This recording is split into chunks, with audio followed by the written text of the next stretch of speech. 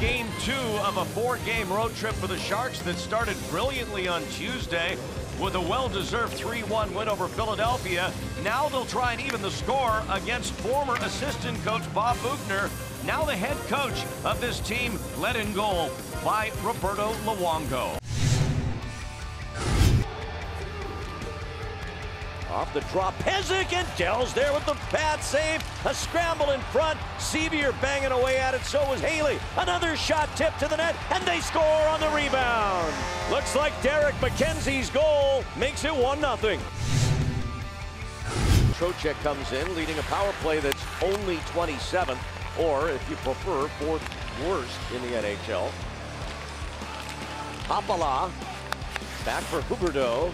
And now Trocheck, one-timer, saved by Dell, rebound, and Dell with a save off Haapala. Aaron Dell, he's made some big stops tonight, and there was another one as he robs Henrik Haapala. Barkov tried to dish to the left side. Malgin can't get to it as Burns reaches out, pokes to Thornton ahead to Pavelski. Meier back up on this line now. Meier down behind the goal line. A chip for Thornton. Now Pavelski at the side. They score! Joe Pavelski! And we're tied 1-1. And it's his 300th National Hockey League goal. And don't tell me, another Florida challenge? They won two of them in San Jose two weeks ago. They're going to challenge this. Well, watch Pavelski's left skate right there, but the puck is there.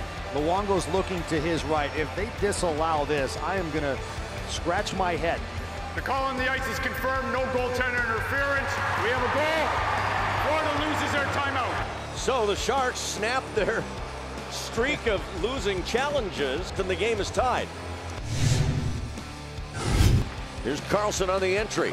Tierney back for Karlsson. Moves in and Luongo the save. Rebound. They don't score. They celebrated as if they did. It looked like it might have gone off Luongo and in. That puck is in the back of the net, I'm telling you.